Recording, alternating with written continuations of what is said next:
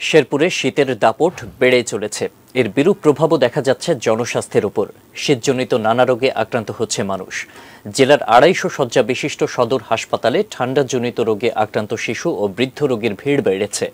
বেড়েছে pneumonia, bronchitis, diarrhoea ও শ্বাসকষ্ট সহ ঠান্ডাজনিত রোগীর সংখ্যা। কোল্ড ডায়রিয়াতে আক্রান্ত হচ্ছে শিশুরাও। পর্যাপ্ত শয্যা না থাকায় অনেক রোগীকে হাসপাতালের মেঝেতে থেকে চিকিৎসা নিতে হচ্ছে।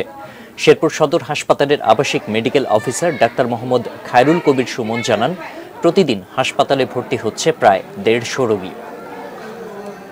আমরা আমাদের সাধ্যমতো চিকিৎসা দিয়ে যাচ্ছি।